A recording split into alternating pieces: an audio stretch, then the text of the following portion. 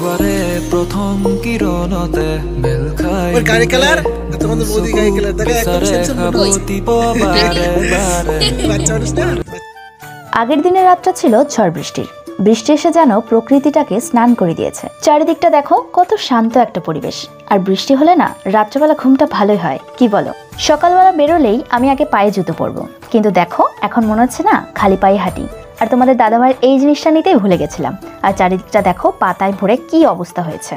চারিদিকের অবস্থা দেখে আগে ভাবছি যে নিজে আগে ফ্রেশ হয়ে নিই, তারপর সব কিছু করব। আর দেখো, প্রথমে আগে মুখে টোনারটা লাগিয়ে নিলাম, তারপরে আমার ক্রিম অ্যাপ্লাই করে নিলাম, তারপরে সব কিছু আস্তে আস্তে করে তারপরে যাব কাজে।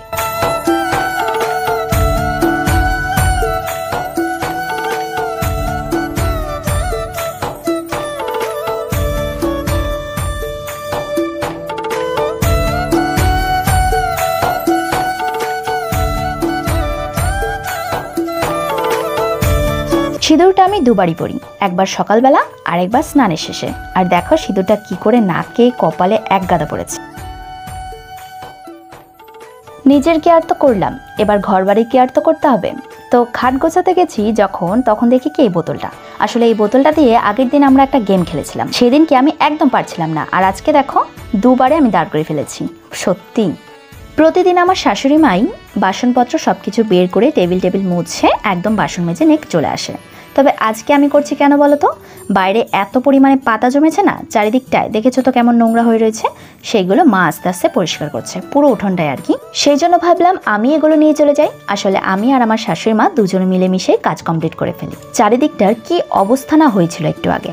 আর পরিষ্কার করার পরে কতটা সুন্দর লাগছে? আমাদের মিনিটাকে প্রতিদিন মুড়ি দেওয়া হয়।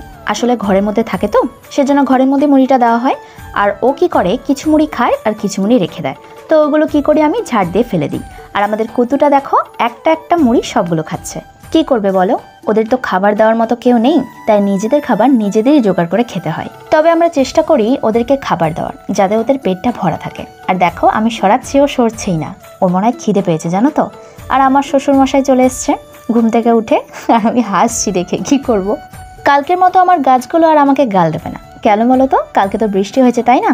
তো গাছেরা জল পেয়ে গেছে, তো আজকে জল দেওয়ার কোনো প্রয়োজন নেই। তো দিচ্ছি না আজকে। আগের দিন রাত্রেবেলা বৃষ্টি হওয়ায় কেউ ভাত খায়নি। তা আমি আর শাশুড়ি মা লুচি বানিয়েছিলাম। ওই যে হাঁড়িটা দেখতে পাচ্ছ, এখানে হাফ হাঁড়ি লুচি আছে। তো এখন চা করব, লুচি দিয়ে চা দিয়ে খাব। লুচি দিয়ে চা খেতে কে কে পছন্দ করো কমেন্ট করে জানিও। আমার তো দারুণ লাগে। আর তোমাদের? আর চা তো হয়েই গেছে, তো সবার আগে কাকে চা দিই তোমরা তো জানোই। ঠাকুমার জন্য নিয়ে যাচ্ছি। আসলে এই মানুষটার তিনটে ছেলে। প্রত্যেকজনের কাছে মাসে মাসে খায়, তবে এই মাসটা আমাদের সাথে নেই। তো কে কখন চা দেবে না দেবে সে আশায় না থেকে আমি প্রত্যেকদিন চা করে ঠাকুমাকে আগে দিয়ে আসি।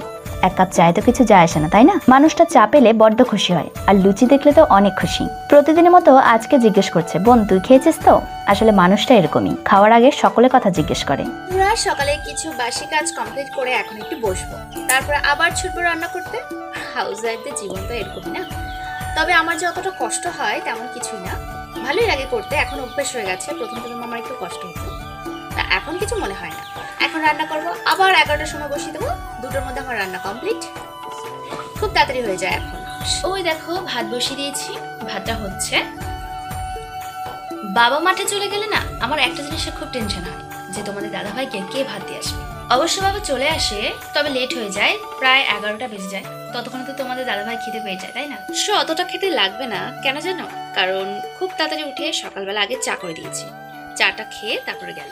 আসলে আগের দিনের লুচি আছে, আর ওই লুচি দিয়ে চা খেতে খুব পছন্দ করে। সকালে ব্রেকফাস্ট সেরে চলে আসলাম রান্না করতে। এখন রান্না করব ছোলার ডালের বড়া। ডালটা আমি মিক্সিতে করে নিয়েছি, কেননা এতগুলো ডাল, শিলে বাটা অসম্ভব। আর শাশুমা বলেই গেছে যে এটা তুমি মিক্সিতে করে নাও।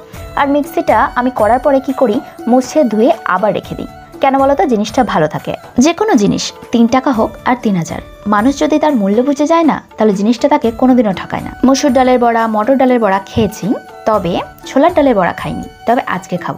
আর যদি ভালো লাগে, তাহলে তোমরা করে খেও।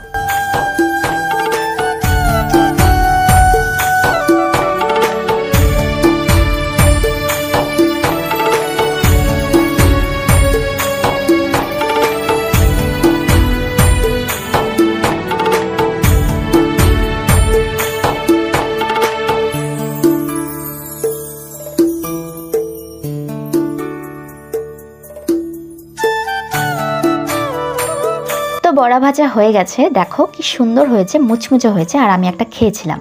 দারুণ লেগেছে, সত্যি বলছি। আর এখন বড়াগুলো নিয়ে আমি কোথায় যাচ্ছি বলো তো? ঠাকুমার কাছে। আসলে আমি কিছু রান্না করলে না, আগে ঠাকুমাকে দিয়ে আসি। আসলে খুশি হয় ব্যক্তিটা। তো দেখো, বকেই যাচ্ছে এক মনে। আসলে বুড়ো মানুষ তো, একটু মানে খিটখিটে স্বভাবের হয়ে যাচ্ছে। যত বয়স হচ্ছে না এদের, এরা বাচ্চাতে পরিণত হচ্ছে, জানো তো? তো কী করব বলো? বকেই যাচ্ছে, আমি একটু সান্ত্বনা দিয়ে আসলাম। বললাম, এমন করো না ঠাকুমা, এটা খাও। আর কি বলব? সকালে ভাত খাওয়া হয়ে গেল তবু ঠাকুমার বকা কমপ্লিট হলো না। ঠাকুমা ঘুমতে থাকব আর আমি দুপুরে রান্নার ব্যবস্থা আজ দুপুরে আমাদের বাড়িতে রান্না হবে মোচার তরকারি ডাল আর কুমড়োর শাক। তাই প্রথমে তোমাদের বৌদি মোচাটাকে কেটে নিচ্ছে দেখতে পাচ্ছ? আর মোচার জামা প্যান্টগুলো খুলে নিচ্ছে। আসলে ছোটোবেলায় আমরা এটাই বলতাম। তো এরপরে তোমাদের বৌদি কুমড়োর শাকগুলো ছোটো ছোটো করে কেটে নিল। তারপরে সে আস্তে আস্তে রান্নাটা বসিয়ে দিয়েছে। প্রায় এক ঘণ্টা ধরে মোজাটা কাটলাম। অবশেষে দেখো আমার হাতের কি অবস্থা। এই দেখো। ছি ছি ছি, কি হয়ে রয়েছে? তো মেহেন্দি পরে ফেললাম। আর এগুলোকে ভিজেতে দিয়েছি? কেন বলতো এই দেখো, এর একটা কষ আছে, ওটা বেরিয়ে যাবে। তো বন্ধুরা রান্না বান্না সেরে স্নান করে খাওয়া দাওয়া করে এখন একটু বসলাম রেস্ট নেব। আসলে একভাবে কখন থেকে কাজ করছি তোমরা তো জানোই, সেই এগারোটার সময় লেগেছি কাজে। তো এতক্ষণ এখন কটা বাজে জানো? এখন বাজে সাড়ে তিনটে। এখন খাওয়া দাওয়া কমপ্লিট করলাম। আজকে প্রচণ্ড লেট হয়ে গেছে। আরেকটা জিনিস হয়েছে, কি হয়েছে বলো তো ওই যে মোচাটা কাটছিলাম, দেখেছ তো? ওই মোচাটা এত কষ্ট করে মশলা টশলা দিয়ে পুরো মাংসর মতো রান্না করেছি। মানে মাংসতে যে যাবতীয় জিনিসগুলো লাগে। সব কিছু দিয়ে রান্না করে এখন দেখছি মোচাটাই তিতো। আমার রান্না করাটাই বিফলে গেল। এত কষ্ট করে করলাম হাতগুলো দেখেছ আমার কি অবস্থা হয়েছিল?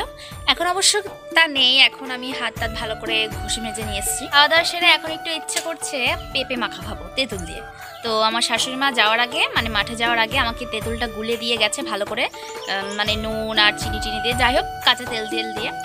এবার আমি পেঁপেটা শুধু কুচাবো আর মাখা করব। তো বন্ধুরা, এখন আমরা যাচ্ছি পেঁপে আনতে, আমাদের পেঁপে বাগানে। আসলে তোমাদের বৌদি একটু আগে হয়তো বলেছে যে পেঁপে মাখা খাবে। তো ওর ইচ্ছা হয়েছে পেঁপে মাখা খাবে। তো চলো পেঁপেটা নিয়ে আসি। আর এখান থেকে একটুখানি আমাদের মাঠ। আমরা পেঁপে বাগানে যাচ্ছি আমাদের সাথে সাথে আমাদের কুতুও চলে এসছে। কুতু? বাবা পেঁপে মাখা হলো বাবু। আমার চুন্টু চুন্টু বইটো চলো। আচ্ছা আচ্ছা আচ্ছা আচ্ছা আচ্ছা আচ্ছা আচ্ছা দুটোই চলে এসছে দেখো পেছন পেছন। এই পাকা পেঁপে তো। দাও এগুলো খাব বাড়ি গিয়ে তো আমরা এইখান থেকেই নেব পেঁপে। এখান থেকে পেঁপে নিয়ে আমরা করব তেঁতুল দিয়ে পেঁপে মাখা। তাই তো? ইয়েস কাঁচা পেঁপে খোঁজো এবার। থেকে। তো কোথায় যাচ্ছ? ওই দেখো তোমার পেছন পেছন কতগুলো যাচ্ছে। ওই, ভয় দেখাবে না একদম। রা দেখো আমার হাতে কতগুলো পেঁপে। এগুলো সব পাকা। আর তোমাদের দাদা ভাইয়ের হাতে যেগুলো আছে, ওগুলো কাঁচা। ওইগুলো মাখাবো। আর এইগুলো গিয়ে বাড়িতে খাব।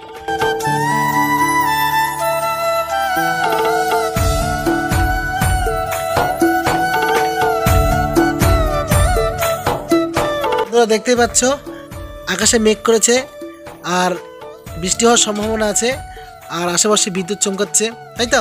আসলে সত্যি করে আকাশে মেঘ করেছে এই দেখো মেঘ করেছে।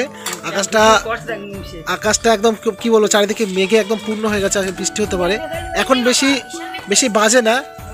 আর এইদিকে তোমাদের বৌদি পেঁপে মাখার জন্য ইয়ে করছে মানে পেঁপে দেখে না পেঁপে কাটা। হ্যাঁ পেঁপে কুচানি দিয়ে কুচিয়ে নিচ্ছে। আর দেখো পেঁপেগুলো প্রথমে ভাবলাম কাঁচা সমস্ত পেঁপে পাকা এগুলো খেতে ভালো লাগবে না। খুব একটা ভালো লাগবে না তবে এনেছে এখন তেঁতুল দিয়ে মাখিয়ে খেয়ে নেব। চিনি দিতে লাগবে না বুঝলে? তো চলো এ পেঁপেগুলো কাটা হয়ে যাক তারপরে মাখিয়ে তোমাদের সাথে আবারও কথা হচ্ছে। কথা হচ্ছে না তোমাদের দেখাবো কেমন টেস্ট ও পেঁপেগুলো আমি কেটে দিলাম আর ও কুচিয়ে নিল আর ওই মাখিয়ে নিল দেখো। ভালোই টেস্ট লাগছে খেতে।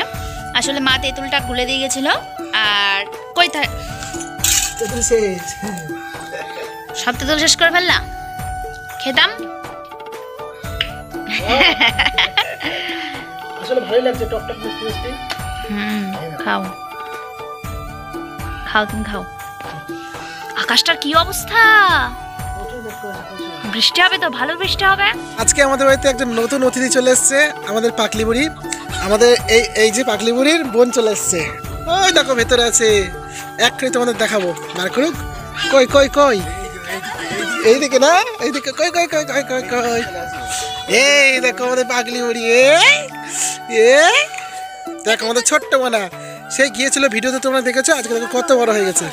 তোমার জামার কালার ওর জামার কালার একই হয়ে গেছে তো। তাই তো? আমার জামা কালার। সে গিয়েছিল আর আজকে বাড়ি আসলো।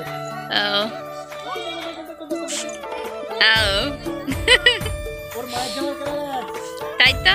সব সেম সেম করে এসছে তো। এই দেখো আমাদের ছোট্ট সোনাটা চলে গেছে। তোমাদের বৌদির কাছে। কেমন লাগছে দেখো? ওর গাড়ি কালার আর তোমাদের বৌদির গাড়ি কালার। দেখো একদম সেম সেম মনে হচ্ছে। বাচ্চা মানুষ না? বাচ্চা মানুষ কিনে একদম পাতলা। আর আমার কোল থেকে যাচ্ছিল না? তাকাও তাকাও এদিকে তাকাও দেখে এদিকে তাকাও। হাসো হাসো। দেখে বন্ধুরা একেবারে ডিনার কমপ্লিট করে ফ্রেশ হয়ে চলে ঘুমোতে। আর এখনও ঘুম বলে কিছু আছে সেটা আমাদের মনে হয় না। কেননা প্রত্যেকটা দিন বারোটা একটা বেজে যায়। আমি তো বারোটার মধ্যে ঘুমিয়ে পড়ি, আরও একটা পর্যন্ত এডিট করে তারপরে ঘুমায় ওর চাপটা পর্যন্ত বেশি থাকে, ওই দেখো। এখন এডিট করছে শুয়ে তো আজকের মতো এখানে টাটা। যদি ভিডিওটা ভালো লেগে থাকে, তাহলে প্লিজ লাইক, কমেন্ট, শেয়ার করো। আর কমেন্ট করে জানিও কেমন লাগল। তো গুড নাইট, বাই!